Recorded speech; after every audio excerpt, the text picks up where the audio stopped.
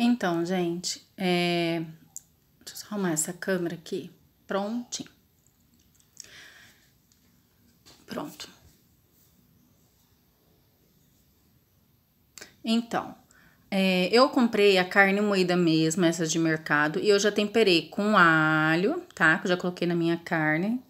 Eu coloquei alho, e aí eu coloquei os temperos que eu gosto, né? Que é chimichurri, açafrão, tempero baiano, é, salsa desidratada. E você faz um tempero do, do, do, seu gosto, né? Eu coloquei os que eu gosto, gosto, na verdade, e mexi bem a carne, temperei bem. E eu deixei essa carne descansar por 10 minutinhos para ela poder pegar mais tempero, mais sabor, né?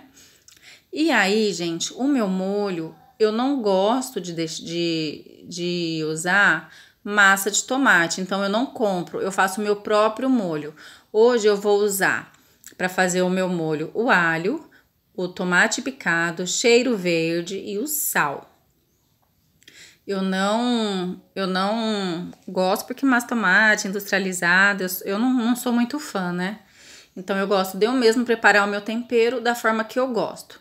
Enquanto tá aqui, eu coloquei, gente, o alho, coloquei com um pouquinho de azeite aqui na frigideira, tá? E deixei dar uma fritadinha. Eu vou deixar ela dar uma fritadinha, até ela ficar meio douradinha, mas não muito também. E assim, o azeite é só um pouco, tá? É só pra molhar. Já coloquei a carne, eu já deixei a carne dar uma fritadinha, tá? E agora eu vou adicionando os meus temperos, ó. Eu coloco o meu cheiro verde picado, né? Eu tô colocando aos poucos porque com uma mão tá segurando a câmera e com a outra pondo tempero. Ó, o meu tomate picado, viu? E, gente, eu não vou mexer, misturar. Eu vou meio que dar só uma arrumadinha e deixar ele por cima, entendeu? Para ele soltando a água na carne. Eu não coloco água, gente. Eu simplesmente vou só tampar a carne e deixar ela tampadinha. Assim a carne vai cozinhar com a aguinha do tomate, vai com a própria água dela, deixando assim o tempero muito mais saboroso do que se adicionar água, tá? Enquanto a nossa carne tá lá preparando, nós vamos fazer a massa da panqueca.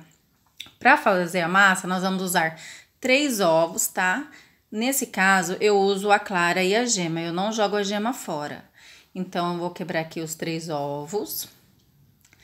E detalhe, viu, gente? Eu não mexo agora não, tipo, eu não fico batendo ovo agora não. Eu vou misturar a massa depois que eu já colocar todos os ingredientes, tá?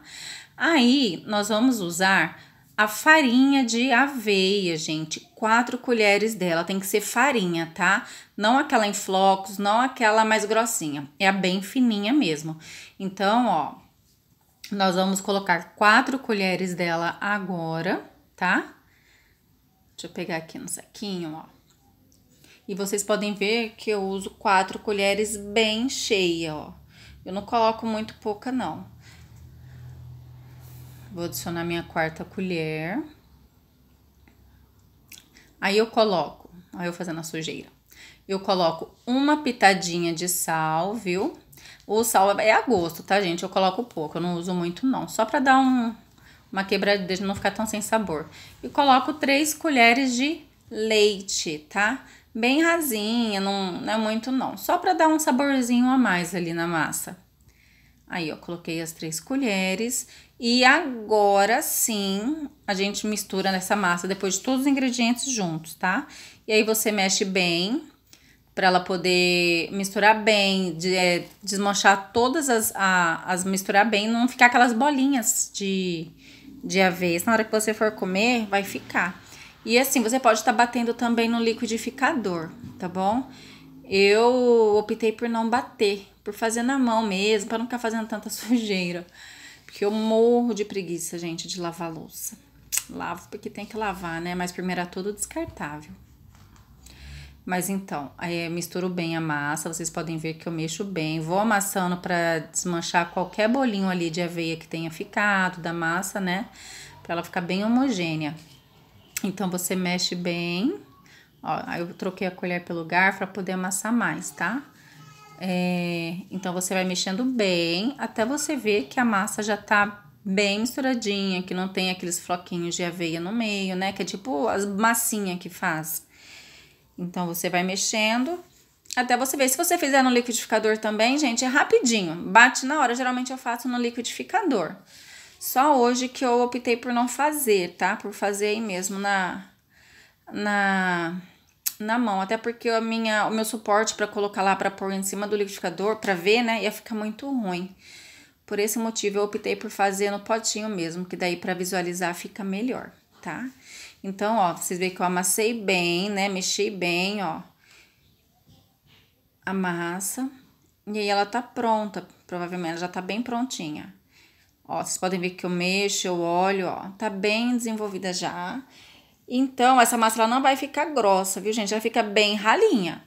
Não espera ela ficar grossa, porque ela não vai ficar. Ela é uma massa rala. E aí, eu vou untar, gente. Eu vou pegar a minha frigideira. Eu já untei ela com óleo, tá? Com óleo bem pouquinho assim. Óleo não, gente. Desculpa, azeite. E aí, eu vou, porque pelo compatinho mesmo, eu vou despejar a minha massa. Eu coloquei, ó, ainda ficou umas bolinhas, tá vendo? Por mais que eu... Por isso que é melhor você até fazer no liquidificador. Eu coloquei a massa, gente, só que ficou muito pouca. Então, eu optei, eu resolvi adicionar mais massa, tá? Pra poder ocupar a frigideira inteira, não ficar tão pouquinha.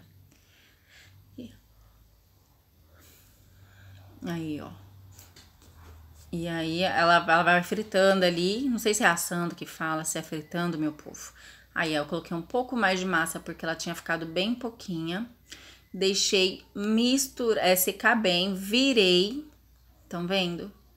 Virei e tá pronta, já vou despejar a nossa massa no prato. Essa minha ficou meio grossinha, geralmente eu faço elas mais finas, tá? Eu vou despejar a minha massinha no prato, vou fazer o restante e já volto. Gente, aqui eu já enrolei a massa, coloquei uma fatia de queijo mussarela por cima e joguei orégano. E agora eu levo no forno, gente, por 15 minutinhos só para derreter esse queijo e ficar bem, bem derretidinho em cima da massa e dar mais sabor ainda. Eu joguei orégano porque eu gosto de orégano, tá? Isso aí também é critério de vocês, tá bom? Gente, ó, tirei do, do, do forno e aqui tá pronta a nossa panqueca. Tá vendo? Espero que vocês tenham gostado do vídeo, gente. Se gostou, se inscreva, curta, tá? Compartilhem e até o próximo vídeo. Tchau, tchau.